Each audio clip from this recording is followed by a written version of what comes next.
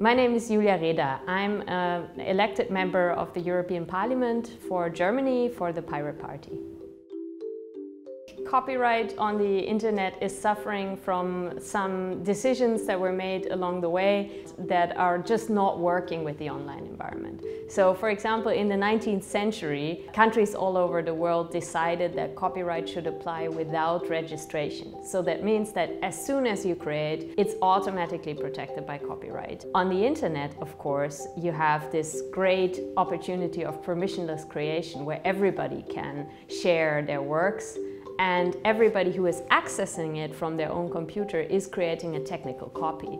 So that means that there is a clash between this possibility for permissionless sharing and innovation on the one hand and the copyright system that is based on the idea that whenever you want to share in somebody else's creation, you need to ask We've seen the emergence of online platforms that ironically have actually led to more centralization of communication on the internet rather than the decentralization that the internet was promising. The way that copyright reform is going is that uh, the entertainment industry is pushing for these online platforms to take a much more active role in policing users' activities. We could end up seeing a future where the things that are allowed on the internet are not governed by our values and what we decide should be allowed or not allowed, but rather by what algorithms are capable of distinguishing. There is a role for government uh, on the internet.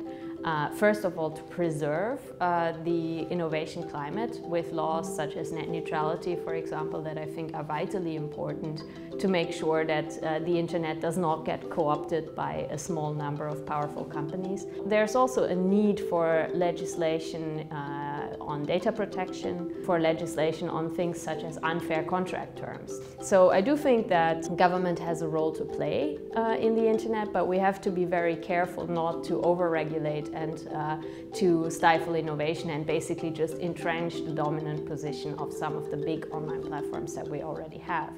I would say that generally it's quite a technology optimistic movement, but we do believe that um, the technological development needs to be shaped and needs to be pushed in a particular direction.